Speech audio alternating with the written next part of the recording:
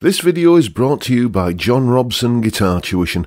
If you enjoy the content, please consider supporting the channel by enrolling on a course, purchasing some guitar lessons or a t-shirt, or you can join my Patreon. Now, on with the show. Hello chaps, welcome once again to John Robson Guitar Tuition. As always, I do hope you're well. Uh, yet another drive pedal comparison for you today, largely concerned with this little pedal here.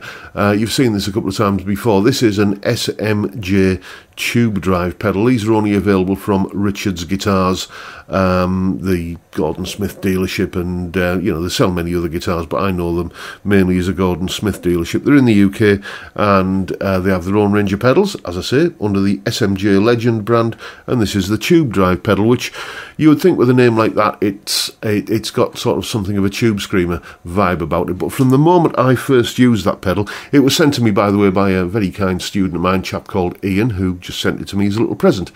Um, from the the very thank you, Ian. The, from the very first moment I uh, I tried that pedal, I thought, you know what, that has a very strong whiff of the Marshall Guvnor about it.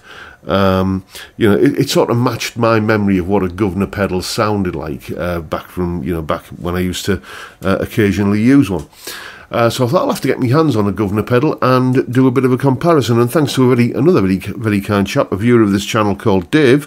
Um, I now have a Guvnor pedal on loan, and this is one of the original ones from the late 80s. You can tell it's from that period because on the back it says battery operation. Use a PP3 or equivalent. Do you remember when those little small, um, those little square 9 volt batteries were called PP3s? It's not been the case for a while, has it? Anyway, so we've got a Guvnor pedal. We've got this pedal that I think matches uh, or gets quite close to the sound of a guvnor, and we're going to find out how um, how they stack up. Now, the thing that the guvnor pedal always had, that it's kind of um, the, the ace up its sleeve, was it could essentially give any sort of amp a bit of a Marshall-y kind of tone. So rather than sticking it into my usual blue guitar amp one on the um, on the vintage setting, which is already a very Marshall-y kind of tone, I'm uh, I'm running it into the clean channel on that, which is more of a kind of a uh, Fendery kind of clean sound. Uh, basically, uh, this kind of this kind of sound.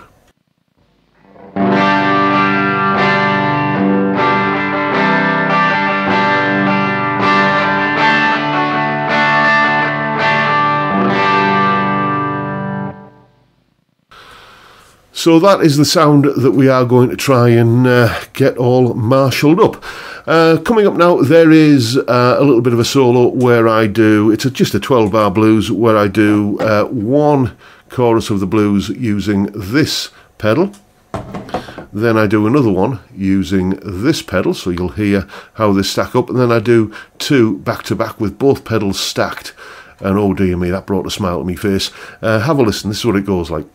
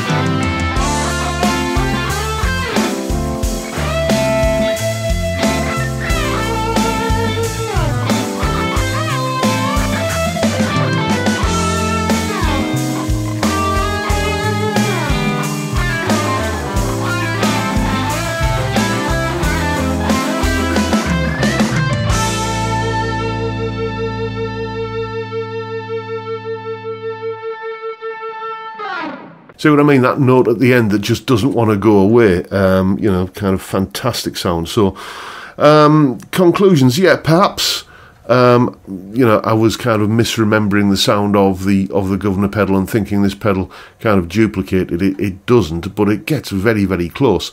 Still going into that sort of clean, clean sort of Fendery sounding amp that I've got uh, dialed in on the Blue Guitar Amp One. It did lend something of a very definite Marshall character character to it to my ears.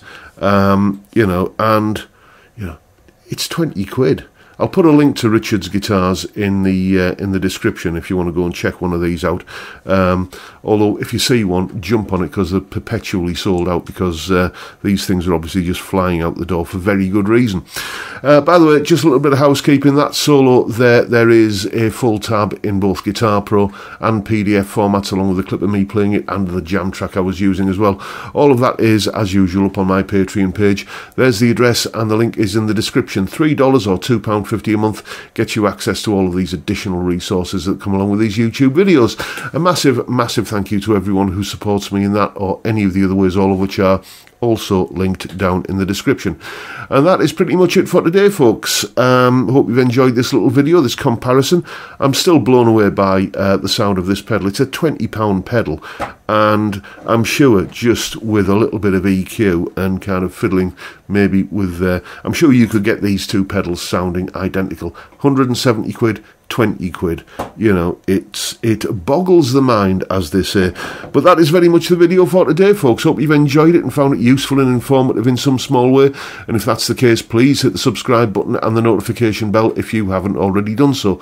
And why not drop me a like as well while you're at it. Don't forget the live stream every Friday, 5pm UK time. We drink beer and talk about music and guitars and a whole host of other things, whatever crops up basically.